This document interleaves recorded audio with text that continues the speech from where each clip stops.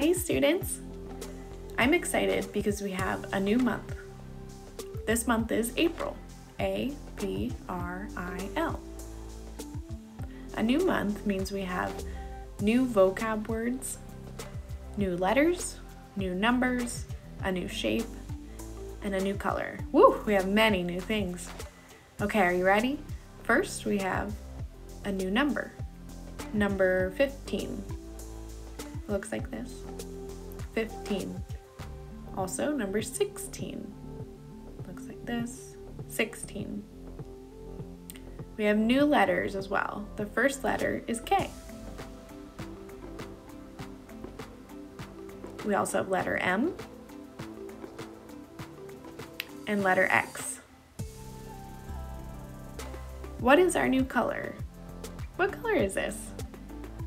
Right, this is white. W H I T E, white. We also have a new shape. Looks like this.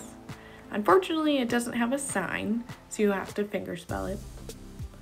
But I'll show you how it's spelled. H E X A G O N. Where can it be found? It can be found in pencils, can be found in honeycombs. You can see this shape everywhere, really, but it doesn't have a sign, so I'm sorry.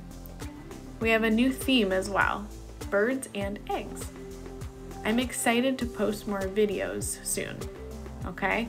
So you better watch out for new videos. Okay, love you.